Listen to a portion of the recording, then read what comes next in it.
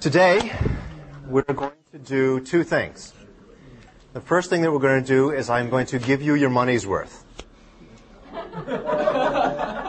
if you are paying tuition uh, analogous to the tuition that you would pay at, say, a big university for the equivalent education, what I'm going to tell you this, this in the first bit would be worth about a fifth of that money, perhaps more, maybe even a third.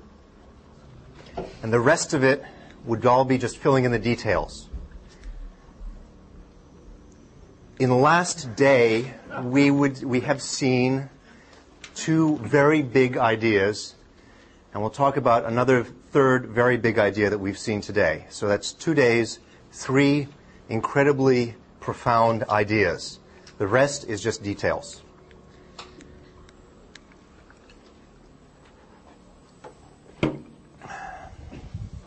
So, big idea. Take notes. Write this down. You probably won't understand most of the things that I'm going to say in the next few minutes. Write them down. Someday you will, and you'll have deep insight. Okay? This is hundreds of thousands of dollars of education speaking right now. Listen.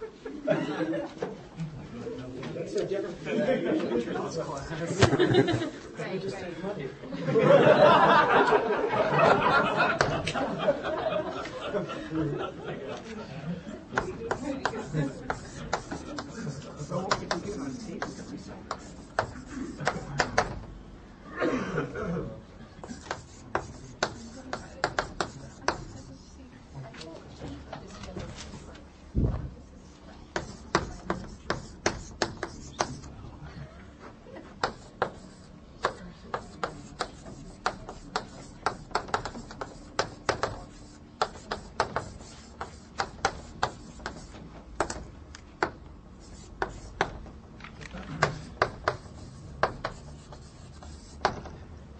Big idea number one. Programs are condensation or compressed versions of strings. Versions of this idea appear in something called Kolmogorov complexity.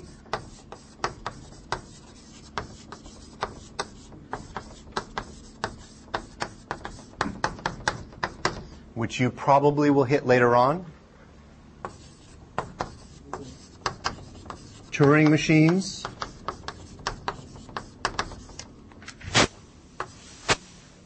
What else did I write down? Shannon and or Fisher information. Entropy. And the way we implement streams and by extension, all scheme programs. In fact, all programs.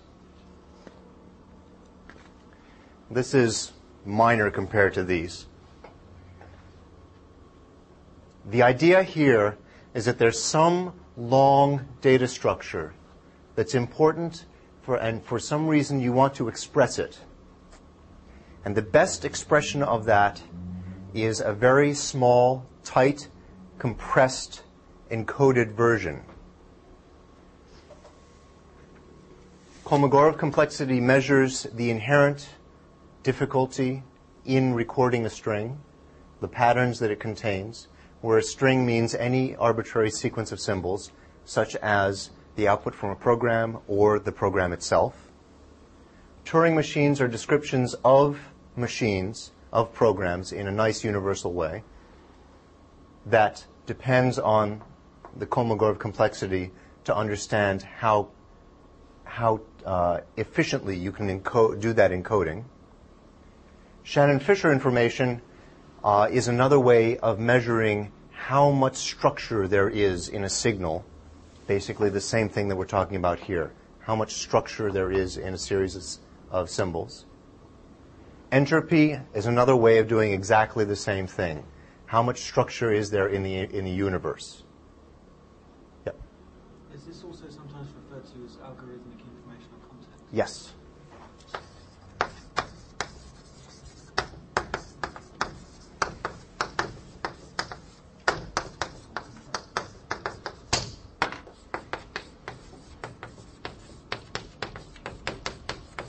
Very strongly uh, uh, de- dependent upon Kolmogorov complexity. Kolmogorov, an amazing man, the, the modern age's perhaps best mathematician.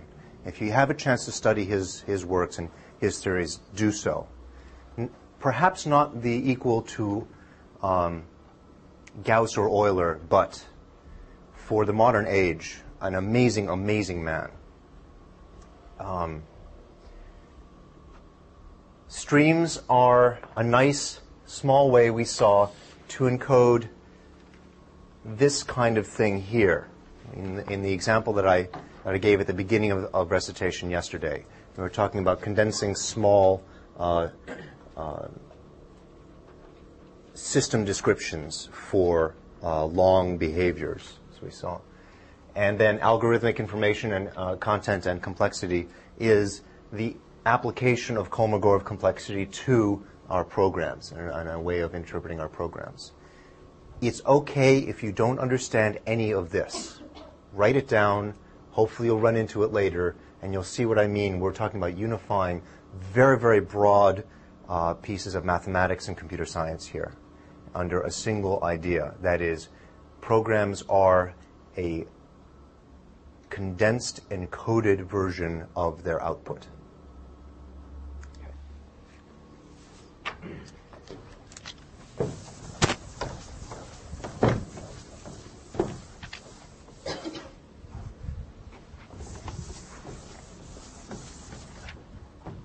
Big idea number two locality. Another huge, huge, wide reaching idea. It appears in architecture.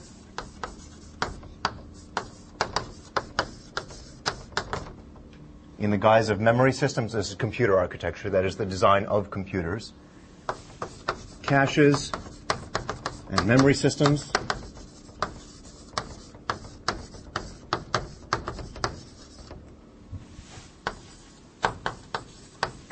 Prefetching.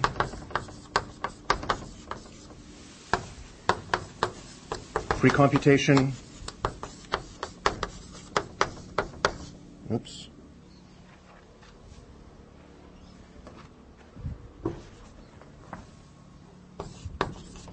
And like.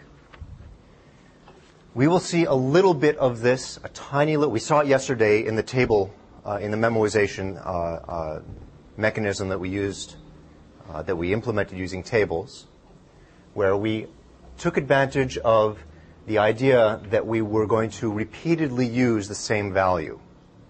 And therefore, we stored it in a, in a table so that we didn't have to go through the computation every time or redo the computation every time we needed that, that value. We pre, effectively pre-computed the results so that we could use them many times. This also extends into pre-computing the results for a uh, program, if you look at the text of a program, you can often reason about the program itself and say, aha, I know that under these conditions, for example, this bit of the code will never run, therefore we can ignore it. Or I know that this bit of the code, if it is run, means that this other bit of the code will not be run. And things like this. Or you can propagate constraints through. Uh, and this falls under the rubric of precomputation. It's also called specialization.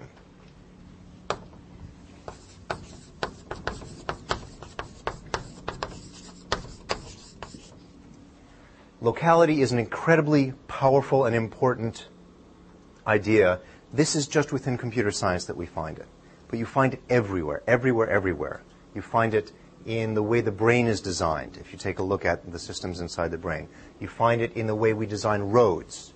Uh, you find it in civil engineering. Uh, you find it in built architecture.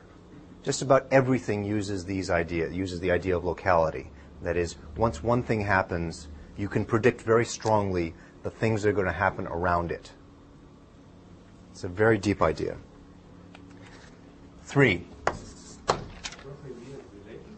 Yes, they're all related to the, to the, to the same concept that once you have one observation, you can make predictions on subsequent observations based on that one observation. So, for example, the observation is uh, that you wrote a value to a certain variable, say A. You can predict that with, with a very high degree of certainty that you will be reading that value. So, for example, if you have multiple kinds of data storage, some of which are faster than others, because you just wrote to a value and therefore are highly probable, it's highly probable that you'll read back from that value. You want to keep it in the fastest data storage. You don't want to let it go out to the slow data storage. So that's an, that's what's called temporal locality. Once you make one observation, you know that there's going to be another similar observation shortly afterwards. There's also spatial locality. Once you touch one bit of memory, you are very likely to touch the next bits of memory near it. Spatial locality. Um, you can make similar predictions, uh, say, in traffic flow. Once you make the observation that a car passes through one intersection, you know with high probability that he'll pass through the next intersection, continuing on in the same direction rather than turning. There's some chance that they will turn, but it's much more probable they'll go straight. So that's locality. It's the, the predictive power of a given observation. The locality and the, the first idea you had with information content or complexity of, of uh, what you call programs as, as yes. things, is that what's the relationship between is, is complexity and information content? No, they're somewhat they're somewhat orthogonal. They're they're somewhat different. Uh, they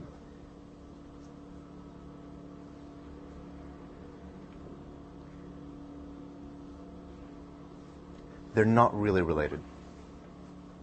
Although you can, st- you, you, can, you might think that they would be. Uh, and let me think about it for, through, through the section and ask me again at the end of the section, and I'll probably be able to give you a better answer. Okay, so number three. Not nearly as big an idea as the first two.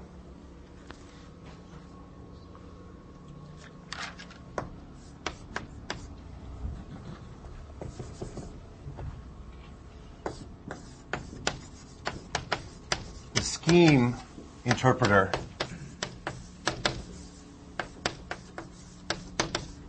interpreter is just a program.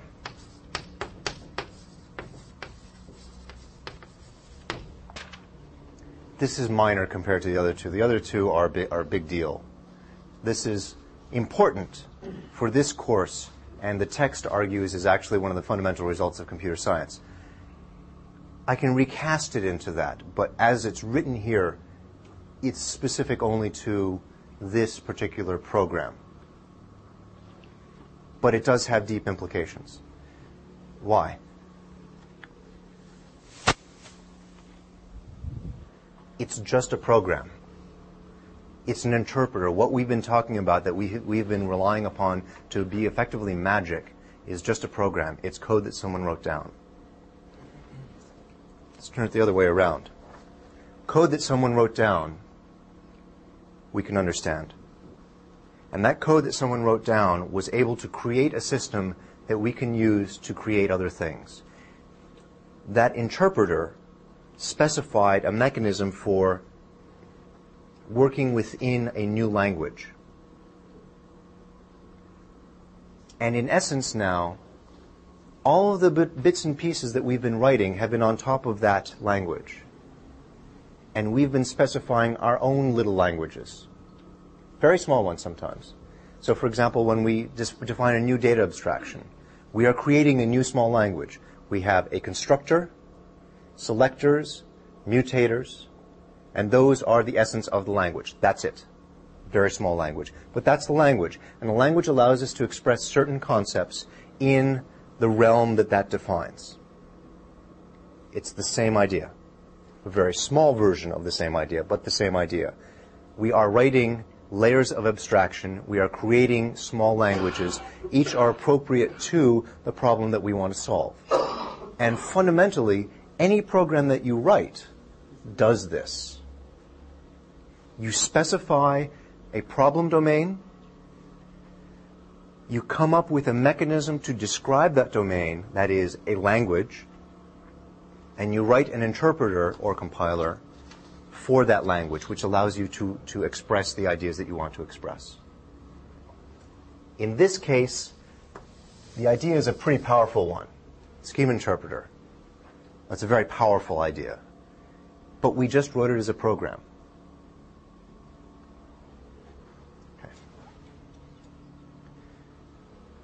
Implication here is abstraction, which comes up close to this level of uh, importance. Did you also say that that's in some way self-recursive or contains the ideas of even decomposition or something? Yes, yes. Uh, yeah, the the whole all of all of engineering is based on that idea, on the on the idea that you can take a problem, break it down into into its components, and analyze the components individually, and that is fundamentally the idea of abstraction, and then build build up the, the problem back up out, out of the components. Okay. That now leads us into that's big stuff. And I hope that by your stunned silence, you have been impressed by the fundamental, uh, fundamental nature of everything I've been saying so far. And thinking of the hundreds of thousands of dollars. And you're thinking of the hundreds of thousands of dollars you just saved. That- We would all have been on fellowship, so we're not saving it. Well, true. Let me put it to a different way. You just heard the condensation of hundreds of thousands of dollars of the government's money. And actually, some, some pretty well, I gotta say, I, I gotta say, some pretty, from some pretty well spent money. I mean, this is, this, they, the government got their money's worth, I think. What In this are case. the years of Kolmogorov? When did he Um, it's all this century, and uh, I think, although I'm not completely sure. John, do you know? No, John, do you know? I mean, oh, Baruch, do you do you, do you know? I was interested in Okay, yeah. I want to say he, the, the the biggest results came out in the 30s and 40s, but I'm not 100% sure. I'm not at all 100% sure. That sounds about right, from what I know. No. I think it was, yeah, around the thirties and forties, at least the probabilities that we did. Right. Yeah. Okay. So this leads now into more mundane things, much less heady.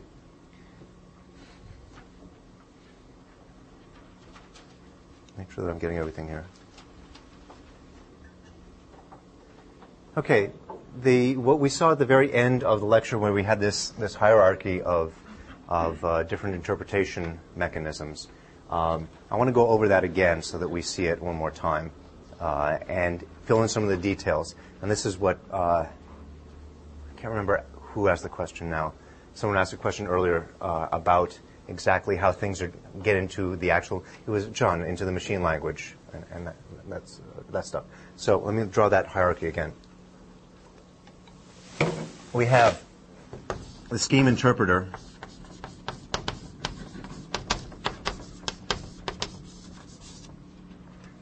which itself was written in Scheme but is compiled.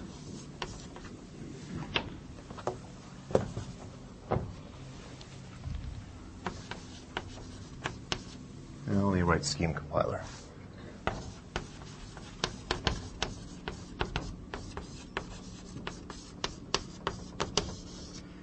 On top of this, now we are adding the metacircular evaluator. And on top of that, we're implementing ADU scheme. Or maybe we should make that a colon.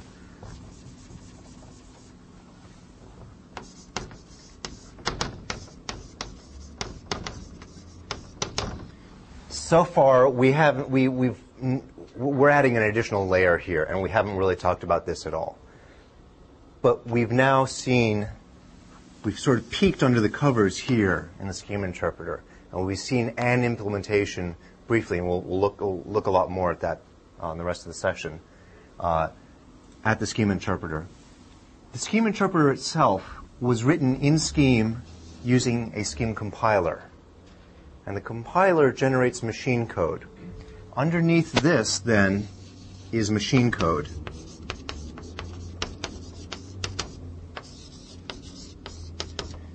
And underneath that is actual hardware.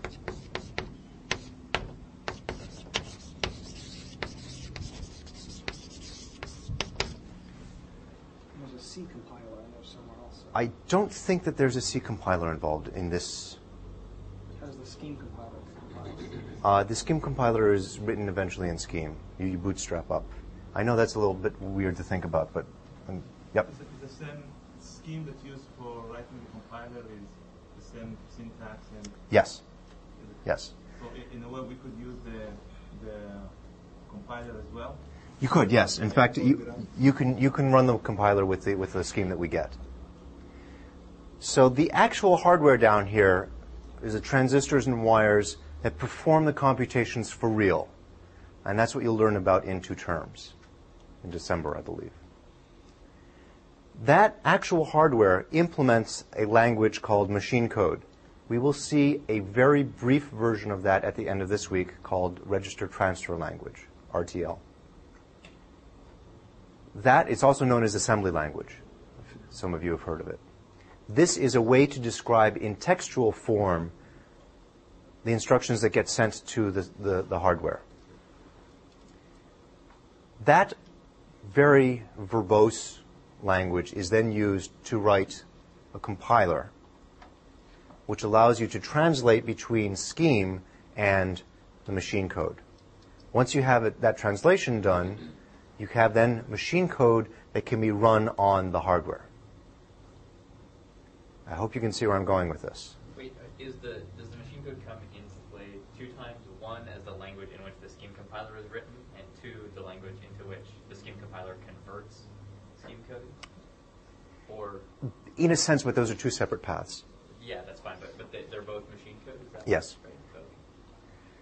Uh, and I, I am simplifying things here to, to, to make this a little bit clearer. The scheme interpreter, in turn, allows us to write scheme, that is, in this case, the metacircular evaluator, and translate it down to the scheme compiler, which brings it to machine code and down to the hardware. Next level up. The metacircular evaluator now allows us to write ADU scheme expressions, which are interpreted, interpreted in turn into scheme, which then gets interpreted in turn through the in turn through the compiler into machine code, which then the hardware actually implements.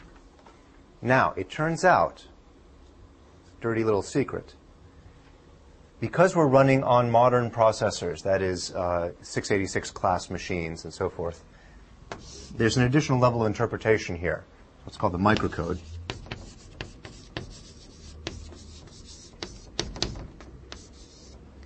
That you will learn a little bit about uh, in two terms. Between the machine code, which is, for example, standard 8086 instructions, uh, let me stop and say, say that again. After probably about 1985 or so, no processors were made that really directly interpreted or directly implemented the machine code. They all have a bit of interpretation. So they have on the processor itself a different machine language and a small interpreter that takes in instructions in the machine code and translates them into what's called microcode. And this is just another level of interpretation. So there's translation from, I hope you, you're, you're getting this stack now. Translation from ADU scheme down into MCeval. MCeval is translating into the scheme interpreter. The scheme interpreter is translating to the compiler. The compiler is translating to machine code. Machine code is translating now to microcode. Microcode gets translated down to actual hardware. Every level of translation involves expanding the amount of code and reducing the efficiency of the system overall. But in, in exchange for reducing the efficiency, we've accepted the power of being able to go up higher and higher here. It would be impossible to write ADU scheme directly in either hardware or microcode in terms of practical reasons, for practical reasons. You could, if you were so motivated, actually go and build a machine that directly implemented ADU scheme. And in fact, that was uh, one strong avenue of research uh, within the artificial intelligence lab at MIT for a while to create Lisp machines that directly Im- implemented, uh, in- interpreted Lisp in hardware. Uh, they were reasonably successful. Of course, there are no more Lisp machines that you can find except in museums or people's backyards. Uh, but the idea was to collapse this level of interpretation. How much efficiency is lost or would be gained if we did that? We will, in fact, look, to, look at exactly that issue how much we lose going from here to here, for example. Turns out it's a lot. And is it equivalent from? It's, it's about now? the same every, every time you go down. Okay. So if you could really, really use direct microcode or direct machine code, you can have something that's blazingly fast. But it's a practical impossibility to write any large system using um, the very, very low level stuff here. You have to use these additional layers to build larger and larger systems. Bro. What's, uh, why not use the, again, the compiler versus the interpreter or scheme? What's the- what's Why are we going through the interpreter? the, this layer of the scheme interpreter. This allows us to do things like type expressions individually at the machine and have them evaluate individually. Uh, it allows us to manipulate our environment, to examine the objects that we have, uh, to go into a debugger, and things like that. That's not possible with the compiler. If you have a sizable program that is, you know, whole system Sure, you can, once it works with the interpreter, you can bypass it and take it to the compiler, absolutely. But you lose all of that functionality that, that we have currently with the interpreter, yes. Doesn't an interpreter give you some level of machine independence, of hardware independence? Because Uh, compiler has to be for a specific. An interpreter also has to be for a specific machine, but oftentimes they're much easier to implement than uh, a compiler is. A scheme interpreter can be written uh, in for a small, very very small com- computer in 1.5k of of object code, which is tiny. I mean, you can write that. You, it, it is written, in fact, in machine code. Uh, it's very very tiny. Uh, on the handout that you have in front of you is a full-blown scheme interpreter. It's three pages of code, and that's it. And it's not a particularly efficiently written one. Yeah. What's typically uh, implemented in the microcode when you have microcode? Um, and is it uh, all is it hardware or mix of hardware software? This is software. This is software, and it gets it, it's. I, I, I can't explain to you any better right now without a long, long, month-long digression uh, what the difference between machine code and microcode is. Uh, you will see that in two months. Is microcode implemented on all modern processors? Yes. Is that to give you processor independence? Like so that you can write No. machine code, you don't have to write your machine Well, code in a sense, in a sense, what it means is that, for example, in modern process, most modern processors are run 80, running 8086 uh, instruction sets, and that, in, in essence, because that's become a standard, that gives some independence. But it's um, a microcode that allows that, right? 'Cause And it's the microcode that allows that. In fact, what's really happening is the microcode is allowing us to have much, much better architectures internally in the hardware that will allow us to run a somewhat, I love s- relatively speaking, high-level language here compared to the hardware, the, the, the language at the hardware level. Is anyone familiar with the Transmeta uh, computer? So, in theory, they're doing a lot of this translation on the fly. They're translating from here to here, sorry, here to here. This translation is done on the fly and can be done flexibly. In most other computers, this is done fixed by circuitry or by a, a small fixed program. But in either case, it's so, it's software, but it's software that's on the hardware. Yes. on the Yes. chip. Yes. Yes. Now, is that the microcode dependent upon that? There's like reduced information set chips? Reduced instruction set Instruction chips. set, right. right. So, for example, a reduced instruction set chip will have, and, and most modern processors, in fact, are, uh, will have microcodes so that they can implement a complex instruction set, which is what all the 8086 instruction sets are. But if you Turns have out a it's that actually is complex instruction set. there are none these days.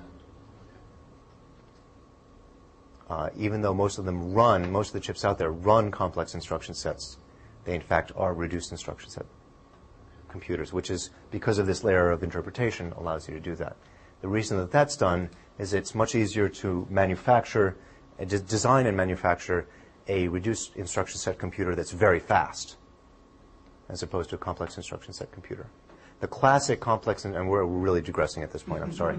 The classic complex instruction set computer is the VAX 11 series, uh, which has, in one instruction, solve polynomial ex- uh, equation. That's one machine instruction. That's not the sort of thing that you would normally put at the machine level. I'm sorry, it's evaluate polynomial.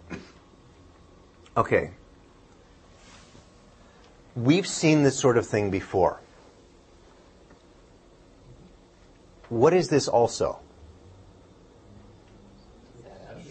Yes, these are all abstraction barriers.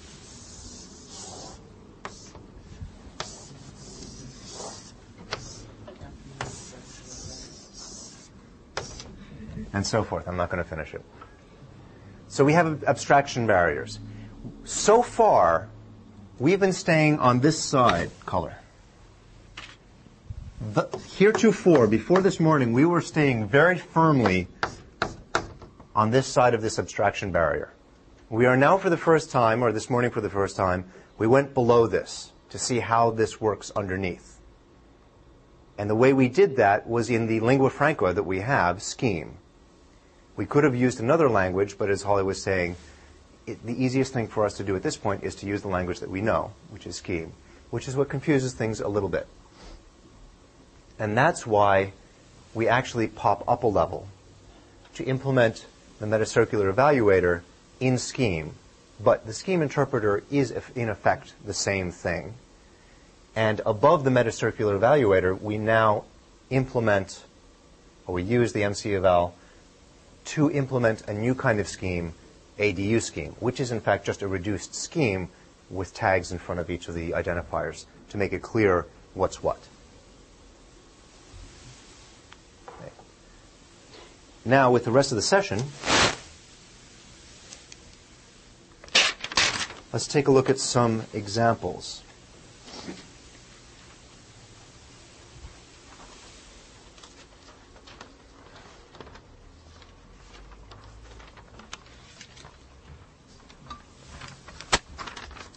So there are a couple of smaller ideas now that we need to make sure that are, are, well understood. The first is we're taking a look at scheme expressions as if they were lists. And I hope that you're all familiar and comfortable with that idea. We've sort of been mentioning it all along. The, uh, the incredible number of parentheses that you've been writing have been creating list structures if you ignore the fact that we have an interpretation mechanism for it. If you just consider the text that you're writing down when you write a scheme program, it's a list. It's a very deep, involved, complicated list. But you could, for example, draw the box and pointer diagram for it. It would be tedious, and I wouldn't want to assign that to you, but you could do it. I mean, for any of the real big programs. Uh, you could do it easily enough. And we saw, you know, one example. Let's, let's see one additional example define A to be B. This is a list, a list of one, two, three, four elements. Really? No, three. What's the list? Let's help me draw the box and pointer diagram here.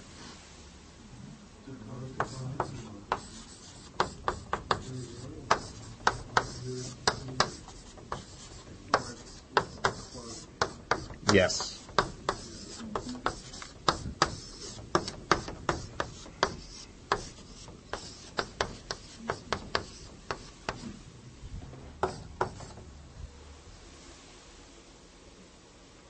Straightforward. It's just a list.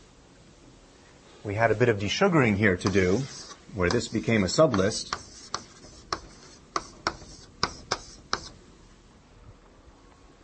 I oddly enough capitalized the Q. Kind of strange. but it's just a list. Because it's just a list, we can use all of our list manipulation prowess, which we've built up, to examine it, to take it apart, to change bits of it, and put it back together, which is all that we're going to do. That's it. And we're going to take advantage of the fact that we have prefix notation.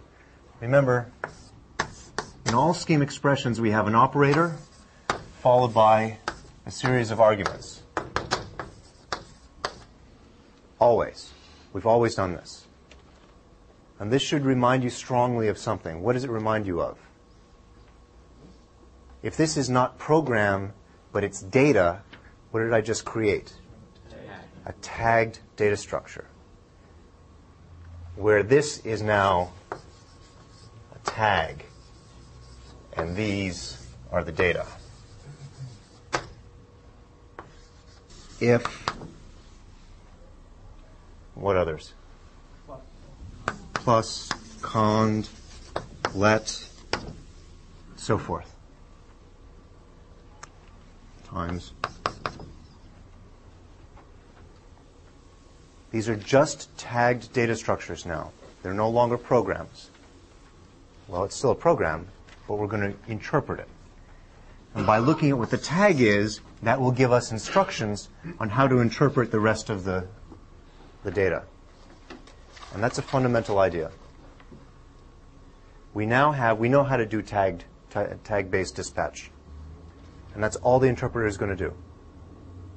We know that when we see a times, for example, at the head of the list, that means the rest of the list is actually representing something which is the product of all of its elements. It's a new kind of data structure. It's a product of all of its elements, and we know how to, to actually create it. We know how to interpret that. We know how to handle that. And the way we handle it is to take all the elements, evaluate each of them, form their product, and return that as the result. Simple and straightforward. And that's why the scheme interpreter that you're holding in front of you spans three pages. Using prefix notation like this simplifies the issues surrounding syntax and parsing greatly. If we didn't have prefix notation, if we had infix notation, if, for example, some of our expressions looked like if A, then B, else C, or A equals B plus C, where are the operators? Well, the first one is here, and it has sub-operators here and here. The second one is here, and there's a sub-expression with an additional operator there you can see how parsing that out and doing dispatch on that is going to be much harder because you have to test first if you have an if in the first position, and if that doesn't succeed, then you have to look to see if you have an equals in the second position, and if that doesn't succeed, there might be a plus in the second position. Even if you do get an equals in the second position, then you have to check for sub-expressions over here where the operator is distributed. Parsing, in this case where you have infix notation, becomes a tremendously difficult problem. And by simplifying our language, or unifying our language such that we always have operator, the operator in the first position, we get rid of all of those issues. And we no longer need to have a difficult parser, which you haven't seen anything about. And we can just concentrate on building the interpreter instead, on the real issues of interpretation rather than the issues of parsing, which are separate. Okay. So we'll see a tagged data structure, and every time that we find one, we'll do the appropriate dispatch to evaluate it. The other thing that we have to worry about is that we need an environment to do this execution in. And we've been talking about the environment model, and we need now to create first class environments. First class meaning we can manipulate them, we can store them, we can create them, we can pass them as arguments, so we need an environment data structure. And we've seen them before. We saw one earlier today, and we'll see a similar one uh, in a couple minutes. But basically, they're like the association table that we had yesterday in section, where we talked about um, storing additional values, making bindings between variable names or arbitrary structures and uh, pre-computed values. We're going to use the same mechanism now to store uh, to, to make our bindings for local variables.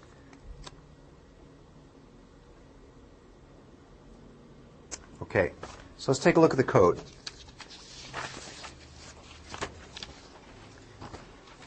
Page number one.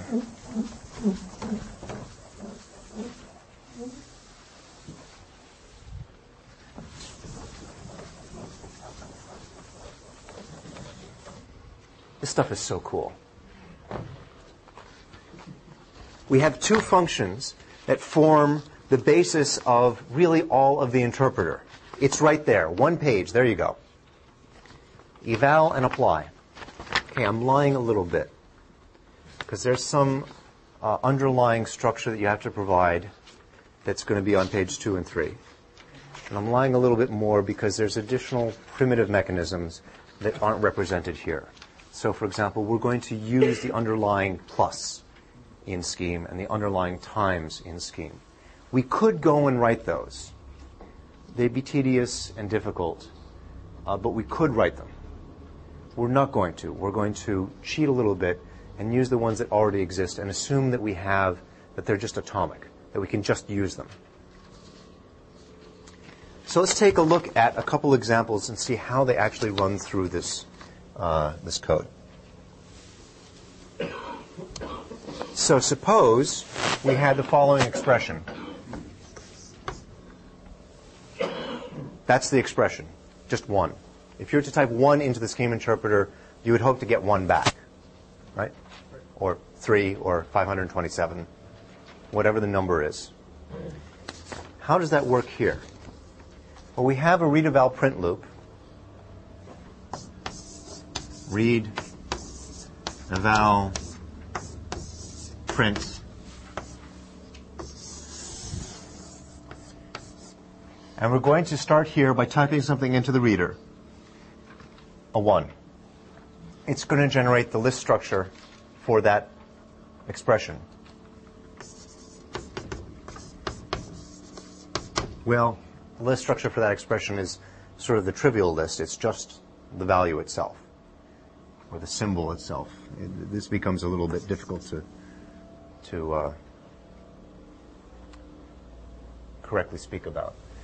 We're going to create the numeral 1 there.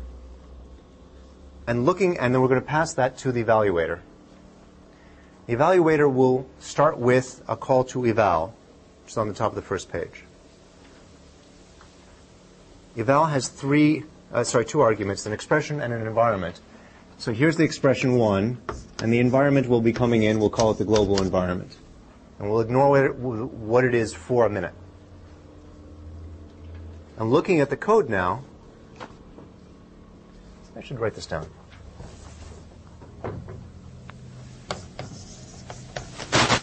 Define eval expression environment. Now, where is this going to? The first thing we had is, have is a cond, which is a big dispatch.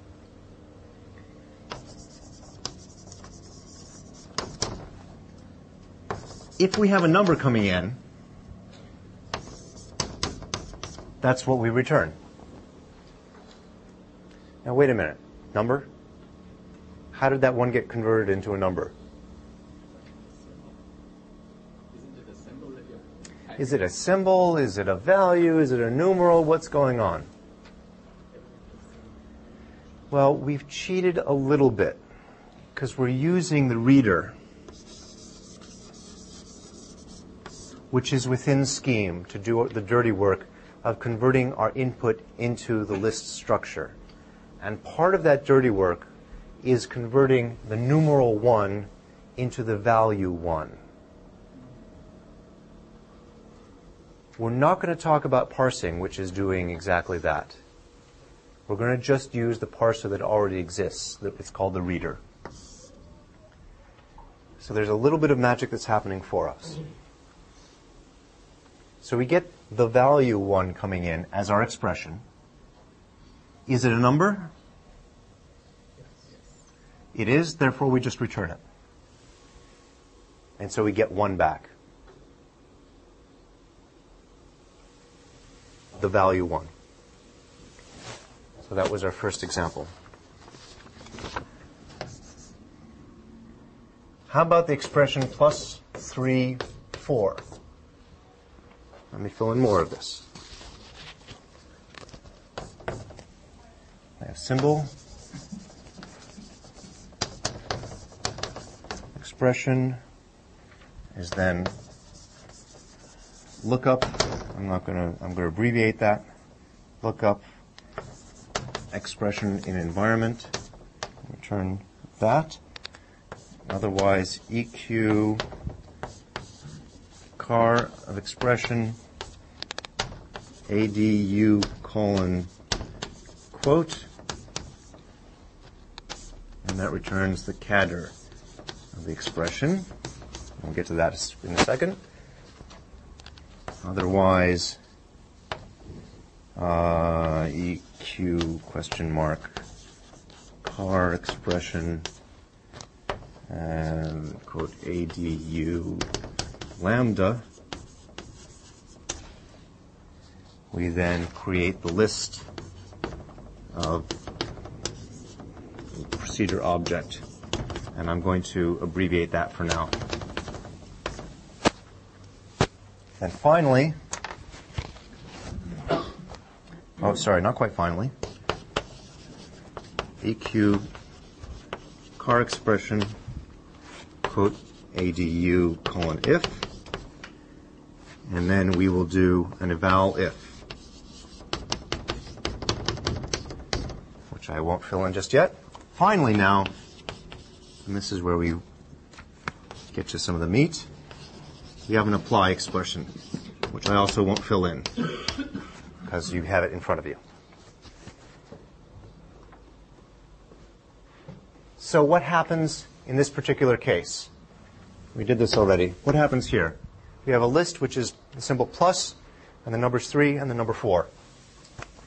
Expression is that list. We look first to see if the expression is a number. That fails. Is it a symbol? It fails. Is the car of the expression equal to ADU quote? No, it fails. Is the car of the expression equal to ADU lambda, the symbol ADU lambda? No, it fails. Is it ADU if? No, it fails. Therefore, we call apply. What does apply do? It's down at the bottom.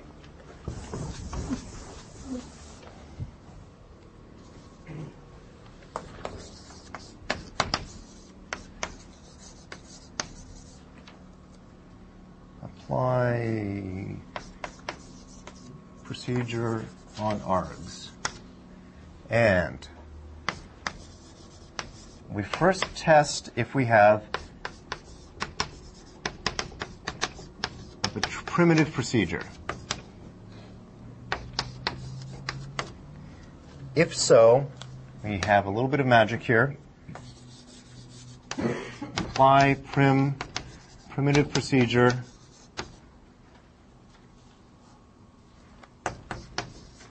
to the arguments.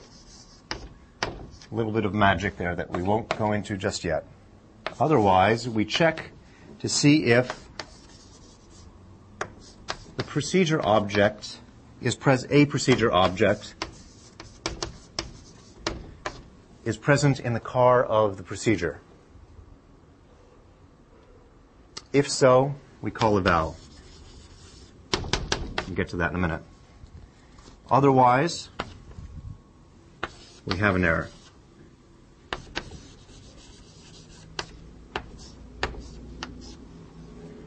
So what happens in our second example, plus 3, 4?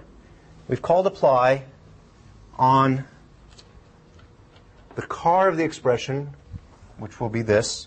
Oh, this reminds me. This version of the evaluator here has flattened all of the abstraction barriers. In the version that you saw this morning, we had abstractions for every single little bit here.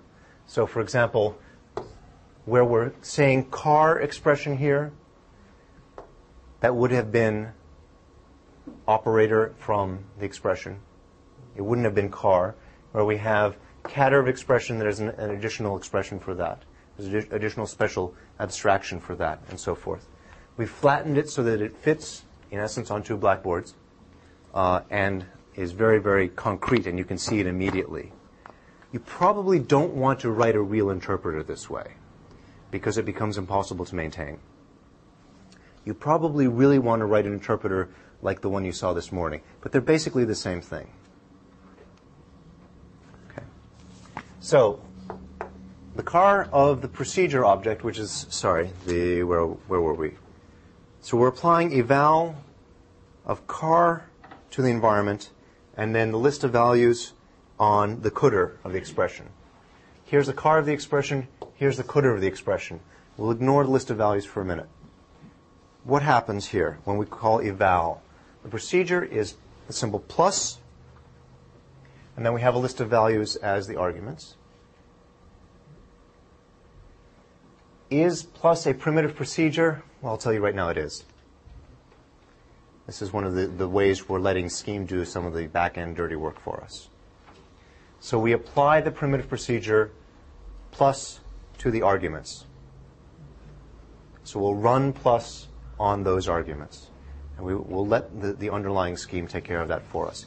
We could write plus and actually do the addition, but as I said before, it becomes a little bit tedious. We'll do it for other things though. Once that's done, that value gets returned and goes back to apply, which gets returned back to eval, which goes back to the call initially, to the read eval print loop. Gets printed out to our user. Now, what about the second part, where list of values is, in, is written in here? It's eval, apply eval of carved expression environment to list of values. Which I should write that out because it's important.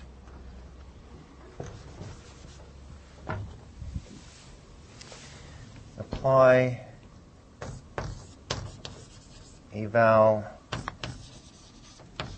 car expression in the environment to list of values cdr expression and environment and close close. So in fact I skipped a step here unintentionally, which is that we're applying eval of the car of the expression to effectively a eval mapped over the rest of it. If you look at the definition of list of values on the next page, on page two, you'll see that should look very familiar. It's basically map.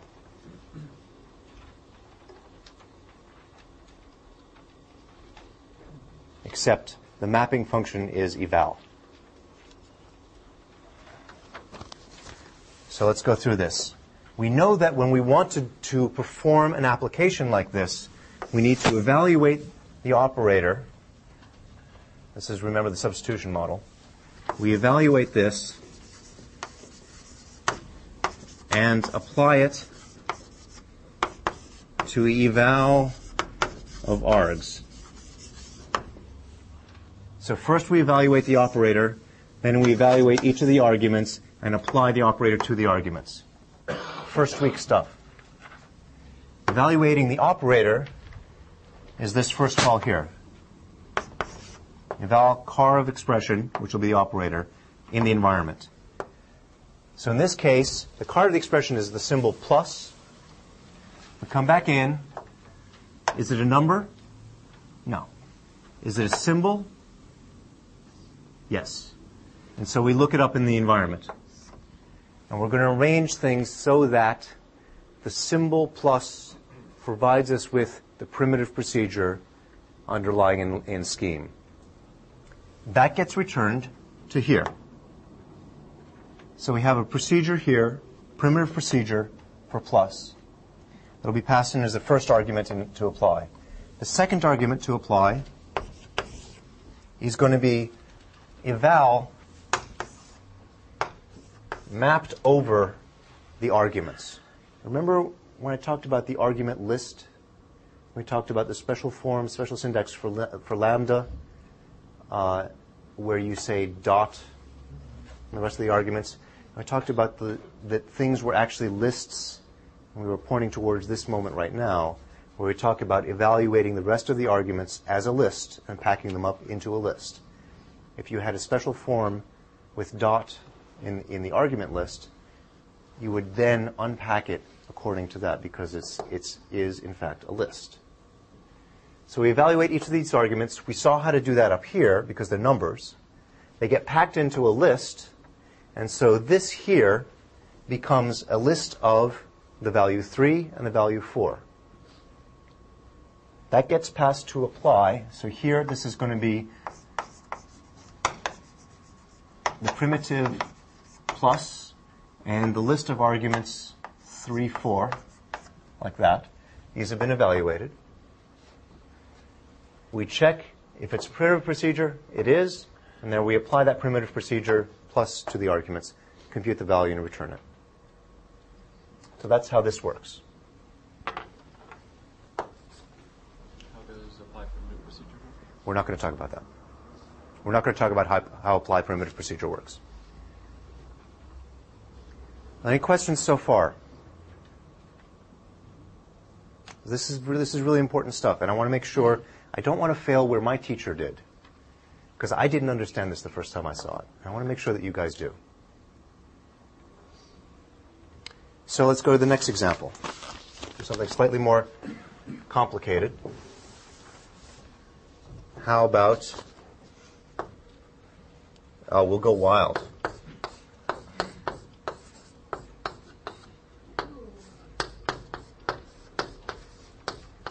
Ooh. We're now. Plus times 3, 4 times 5, 6. We know how to evaluate this for real, but let's see how the interpreter is going to do it. We have a list. Therefore, the first time through a eval, we chug down here to the end, the way we saw before. And we do apply of the eval of the car of the expression, which will be this. Or let me, un, yeah, that'll be 1. Eval of that against eval of the rest, which will be eval of this. That'll be 2.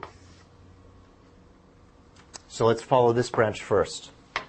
Eval of plus, let's just repeating what we did before, comes in, the expression is plus. Is it a number? No. Is it a symbol? Yes. We look it up in the environment, and we return the special primitive procedure for plus. That comes back, percolates through, comes back to here. And so we apply the primitive procedure plus on the list of values in the cdr of the expression. The cdr of the expression is now, what is it? Man. And this is new chalk. Not new anymore. What? Three, four. We made a special trip last night go buy this chalk. The rest of the rest of the or sorry, the arguments here in this case is a list of two elements, each of which is an expression in its own. So what list of values is going to do is map eval over each one of those two, pack up the result into a list, and return it. So we expect to see in the end, the result should be times 3, 4 will be 12, times 5, 6, help me out. Thank you. I'll make sure you guys are awake. We expect that to be the result, a list of those values. That list will go in here and be applied to the primitive procedure plus, and as we saw before in this example, it'll get added here. How does this work now? We map eval over each of the elements in this list. This is a two-list element. You should be able to draw the box and pointer diagram for it. The first element, eval is applied to that first. The second element, eval is applied to that in turn. So applying eval to this, well, we've seen how that works. We look at the expression, its compound, therefore we come down here and we call apply on the eval of the car, which is times, the symbol, the symbol asterisk, on the environment. Eval of asterisk on the environment. Is it a number? No. Is it a symbol? Yes. We look it up and return special primitive procedure multiply. That goes back. Times on the rest of the arguments in this case is a list 3 and 4. We know how that works. We generate, we, each one of them comes through, pops out here, and get bundled into a list and get returned as a list 3 and 4. So we call primitive procedure times on list 3 and 4. Using apply, we get primitive times list 3 and 4. Is it a primitive procedure? Yes. We apply it. Magic, magic, magic. 12. 12 percolates back through here. As a result of this apply, which generated, was this apply here, and generates our first.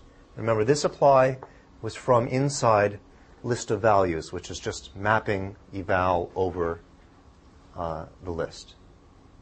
Take a look at list of values to make sure you understand that. Yeah. When we look up the symbol plus, it returns uh, primitive procedure add. If we looked up the symbol ADU plus, would it also return No. implementation primitive No. procedure? We haven't defined that. It would, it would give you an error. Oh, do we have ADU times or do? Well, we're going to use the underlying mathematical. Uh, Okay, so we didn't redefine. we haven't redefined. We can. We absolutely can, but we haven't yet. Sharon, did you have a question? So were the only things that we redefined with ADU colon, the quote land of the things actually? Right now, keeping the only thing that we've redefined are those special symbols, those special forms. And I'll talk about those in a minute. This interpreter evaluates left, the operands left to right, depth first. The way I'm working it, it does. The way, on these three pages. And on the, on the way this is written, it sure does. Yeah. But the operator and operand can be evaluated in arbitrary order because In fact, why do we know? Yes. Why do we know that the operands here are, are evaluated left to right? A priori. Because we're cuttering down the list where? In list of values. When we're mapping uh, eval over the list of values. And that happens left to right. And it's depth first rather than breadth first because you're just doing And to make it breadth yes, first. right. So we, we, we've just generated this 12. Walk me through the, the other one. The same, we're, we're mapping, we're continuing to map eval within list of values over this list. What happens? Get all the way through to apply. We come down here, get to apply. Here, this is going to be times. Here, this is going to be list 5, 6. This goes through back to eval with times as expression. The environment we haven't talked about. It's a symbol, yes. We look up, we get that special primitive, we get the primitive procedure multiply. That comes back. This list of values is going to be 3 and 4. We know how those happen. We get the lists back 3 and 4 and then that goes into apply. And apply finds a primitive procedure, applies it, and we get the value 30. We've recursed one level down because we had sub-expressions here. We're now going to combine those sub-expressions into a list, popping out of list of val. We've applied eval recursively there. And now where were we? What generated this? Well, it was this application of plus to the rest of the arguments here. So plus applied to 12 and 30, what happens there? Well, we have this eval of plus, we know what happens there, and we have a list of values which came back as 12 and 30.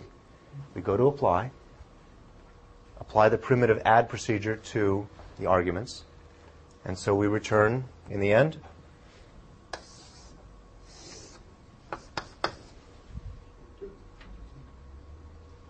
Forty-two. What do you know? Pretty cool, huh? Now let's try something a little more complicated. Yep. The way that the, the magic that is primitive proc works, it doesn't need to know what the environment is at that point because everything's been evaluated. Everything at that point has been evaluated. What happens if it isn't? I mean, how could it not be? Where is the evaluation happening? It's already happening here. Once this, once apply gets called, The arguments have been completely evaluated. Either that or you're getting an error. Or either that or in evaluating you've triggered an error. Okay? Let's try the next expression. I'm going to have to erase a little bit here, provide some room. Uh, now we'll really go wild. Sorry.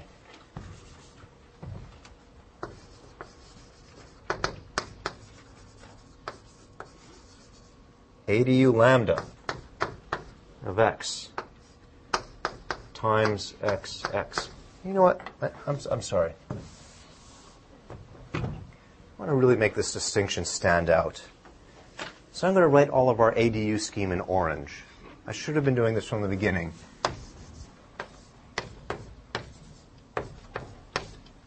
So here's our ADU expression.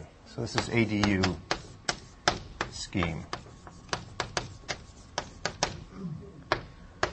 So we have ADU lambda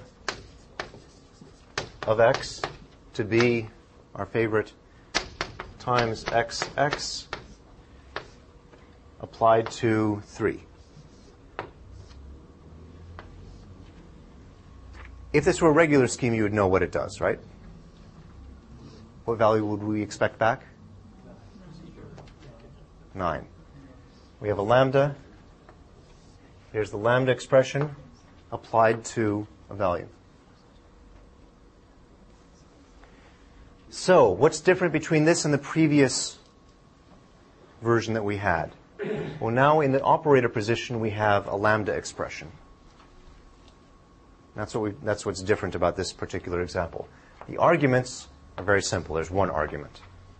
We know how to, we know how to evaluate the numbers. We've done that ad infinitum, ad nauseum at this point. So let's see how this works. The, this is the operator position. It's a list. So by reflexively, we would go, it's a list, therefore we come down here. No. It's a list, but it has a special car. The expression that's getting evaluated here, let me be completely explicit. Here's the operator. Here are the arguments. The operator is a list and therefore is an expression. Within that expression, we look in the operator position and we have ADU colon lambda. That expression, when it comes down through the evaluator, is checked here. Is the expression a number? No. Is the expression a symbol? No. Is the expression, is the car of the expression equal to the, to the symbol ADU quote? No. Is the car of the expression equal to the symbol ADU lambda? Yes, it is. Everybody see that? We have a list, which is the list ADU colon lambda, then a sublist x, and another sublist times xx.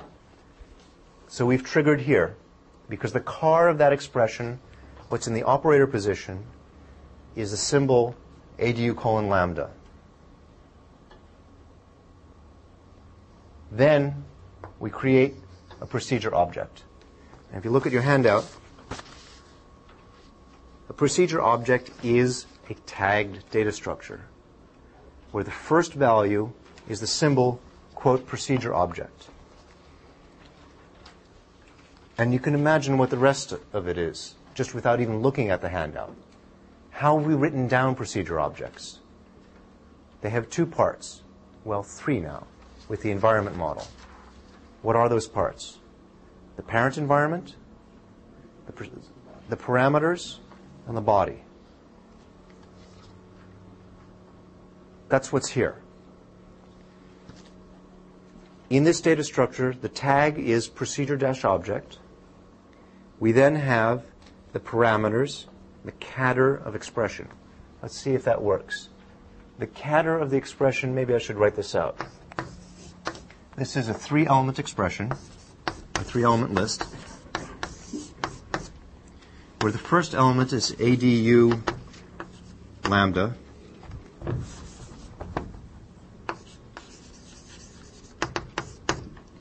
The second element is a list of one element, which is x, and the third element is a list of three elements.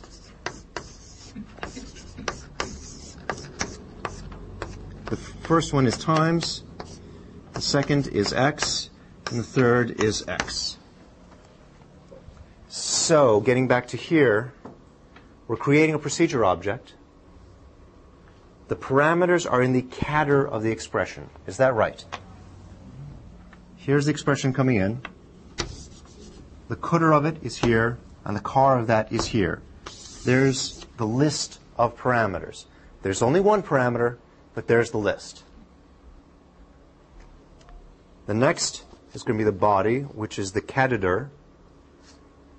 See if that's right. We take the cdr of the cdr of, uh, sorry, the cdr cdr car, which is going to give us this expression here, a list of three arguments, which is going to be the body. That's going to be this expression here. Question.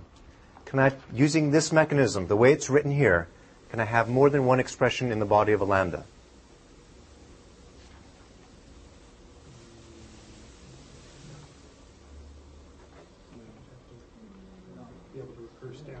No. We are making the a priori assumption that there is a single list in the body. Because otherwise, taking the cdr here would not work. Because we would get a list of values in the end instead of a single value. You could, you could, couldn't you get the whole thing? You could get the whole thing. You could s- you could get the whole thing, but then you would have to handle it differently. So right now we're not going to. We just take the simple mechanism that we that we know and love. And then we bundle that up with the environment, and there's our procedure object.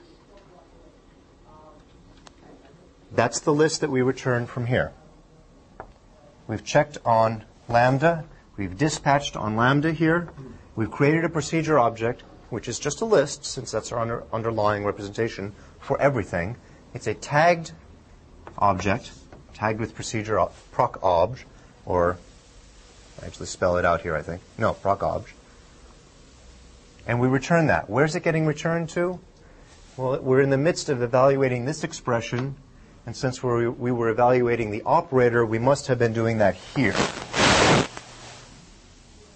So we get back from eval special procedure object representation. Then we evaluate the arguments, which we know how to do. It's a list of arguments. It's a list that's one element long. So value 3. So 3 comes back. And we send those two things to apply. Applies here. Is proc a primitive procedure? No. Is the car of proc the symbol proc obj? Yes, because it's a special primitive procedure that we built up. Therefore, or, sorry, compound procedures are lists of three elements, proc obj tag, this thing, which is a list of three elements, and then the environment. Is that uh, it's a list of four things the proc object tag, the parameters, the body, and the environment. so? The tag is the name of the procedure itself. There's no name here.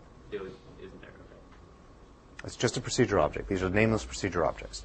So you said it was four elements. Yes. Okay. And they're all the those four elements are all the same at the top level. Yes. How do you go from eval to apply? After you got it. But it already evaluated that equal car expression. Right, and that was triggered by a call here to, to evaluate the operator position oh. of the expression. Yeah. So now we're over in apply. We're on this branch here. Equal car proc proc obj. Yes.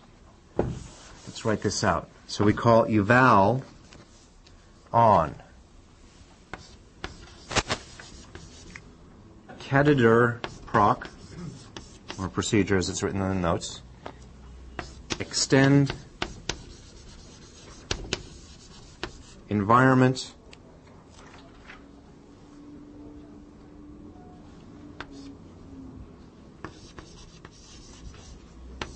cadr proc args and catitor catiditor catiditor yeah proc close close close close dot dot dot and then the error ooh what's happening here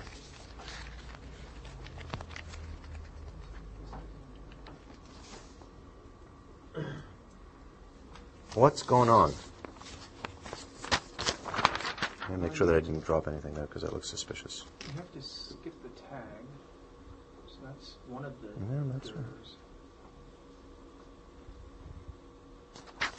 Yep, that's right. When we eval the procedure, we need to do what? We need to evaluate the procedure body in an environment. So eval requires an expression and an environment. The expression is the procedure body here, which is the editor of our procedure object. I haven't drawn our procedure object. Perhaps I should over here. And here we go. So this is what's coming back. I'm just going to call it proc object, even though it actually has no name because there's no binding to it. It's going to be a list of four elements. Let me call it something else instead because that's just too confusing. I'll just call it procedure object. The first is this, is the symbol proc obj, which is a tag. The second is the parameters, which is a, a list, in this case, x. The third is the body, which in this case is the expression times x x. And the fourth is the environment. Whoops. That looks awfully familiar. Doesn't that look very, very much like this? In fact, what is it? It's this where you've changed from that to a different tag.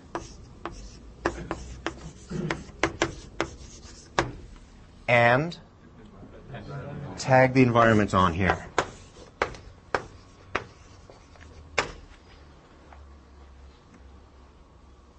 So what have we done to create a procedure object? We've bundled the procedure with the environment. And the fact that we're using a single underlying representation of lists for everything allows us to reuse this structure. Might be a little bit confusing to do that, but if you walk through the me- mechanics of actually building it up and building up the new version, you can see it's, it could potentially be completely different because we could we didn't have to build these up in this order. We could have swapped them at this point. We could have used we could have put the environment first. We could have done any sort of number of things to change the representation here because this representation is separate from that one over there. That's the way we write it down. Why would we want to have them the same? Because what? That we evaluate it now, and that's the format in which we evaluate it. There's a deeper answer that I'm looking for, but that's getting to it. Yeah. Well, for the same reason that, um,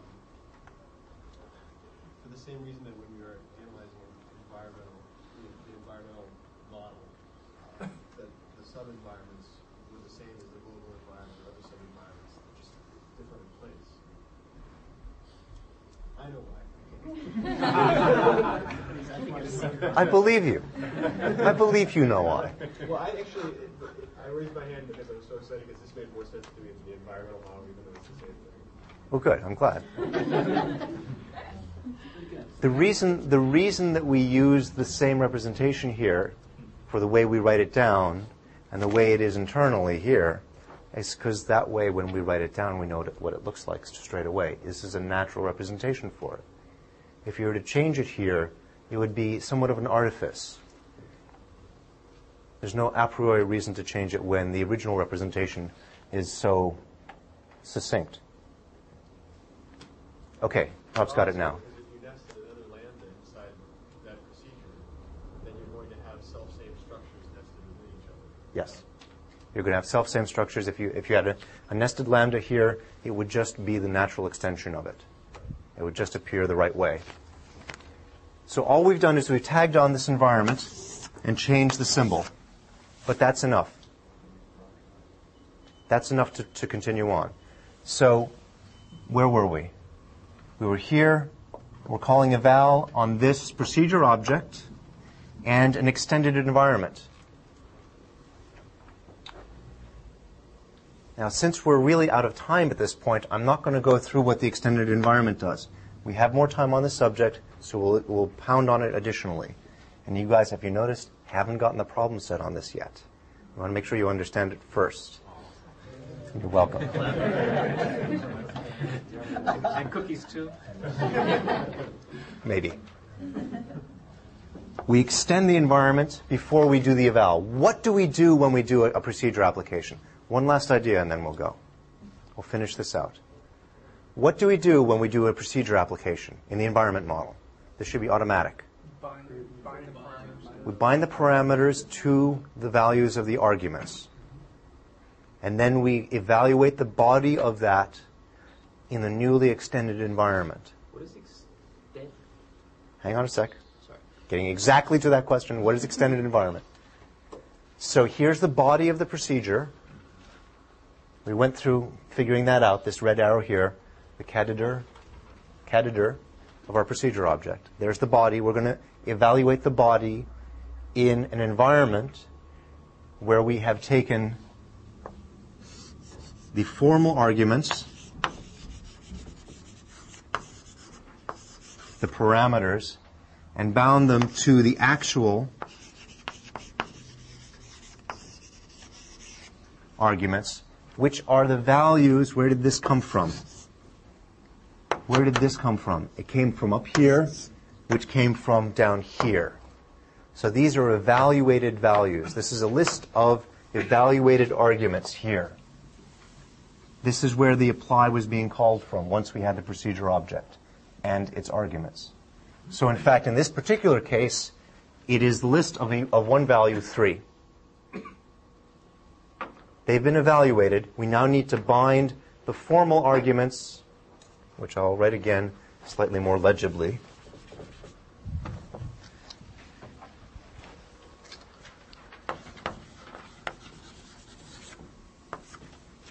We need to bind the formal arguments to the actual arguments, and we do that with an extend environment. What extend environment is going to do is like it's it's going to make multiple calls to table insert, what we saw yesterday, where this is one list of formal parameters, this is another list of actual values, and we want to do a an individual pairwise binding. So bind the first formal parameter, which is a symbol, in this case the symbol x, to the first actual value, which is the evaluated value which came from list eval. And then we do that incrementally. We bind the second to the second, and the third to the third, and the fourth to the fourth. Hang on a sec. That creates a new environment, a new table, a new set of associations, which we then pass in to eval. Then what happens? We try and evaluate the body of the expression times xx. This is where the magic happens. The magic that is that's exposed here. We know how to, we know how to do this sort of thing because we did we've done a couple examples like plus three four. So the times comes through. It's a symbol. We do a lookup. We get special primitive procedure. The x comes through, and then the x comes through. They're symbols. We do lookup in the extended environment. We find that value that was stored because of this binding here. When we extended the environment here, and I'm sorry we don't have time to go through this right now, how that ex- actually works. It's basically the same thing as we saw yesterday. We do the binding, we look up the value x, we get back the value 3, because that's what it was bound to as the formal parameter, as the actual parameter. And then that comes back and allows us to evaluate this expression times xx times xx as times 3, 3. And there you just saw the substitution model in action. Okay, question? I was trying to figure out why we're calling it extend environment rather than make new environment. So after it makes that table of new bindings, does it append it? Yes, exactly. Earlier environment. Exactly. So that it can trace the arrows back Exactly. to earlier bindings. So, we, so the environment model happens within extended environment, and we create a stack of what will what will be called frames. Not stack is the wrong word, because we won't be po- we won't be uh, pushing and popping. We'll be consing them on. We'll be, crea- be creating a tree of frames, and that will form the chain that you've been creating with the environment diagram, following all those links back. This is where that happens. When you're no longer inside this loop, you're back where the environment was just Right. you had before without that extra step. So you know, And lookup here is what follows that chain of associations back until it finds the first instance of the argument that you're looking up, or the, the symbol you're looking up. Jimmy, that's, that's why if you make a mistake in your code and you go through sort of debugger, it says, you know, 18,000 bindings made. Yes, right. You've made about four. Yes. Okay, so substitution model happens in part here. Environment model happens in part here. They're all interleaved. And these are the two main procedures. I'm summing up here so that because we're about to finish. These are the two main procedures that form the bulk of everything that you've been doing, that have supported the bulk of everything you've been doing. They are duals of each other. Eval calls apply, and apply calls eval. When we need to know what the value of, when we have an operator that we're applying to arguments, we use within eval, we use apply.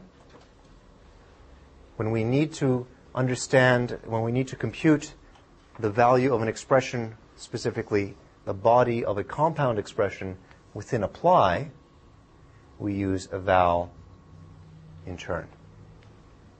the escape is when you get into a primitive procedure, right? Why does this ever stop? It seems to just be bouncing back and forth. And that's why we started with these very primitive procedures, the very simple expressions before. Here's the escape. This is where we get out. When everything comes down to primitive procedures. Now, here's what I want you to think about, and we'll talk about uh, probably tomorrow afternoon. These here are the special forms. And we'll think about why we need them to be there and why uh, we couldn't do something there. Why the difference is between what the difference is between those two. Okay. Have a good afternoon.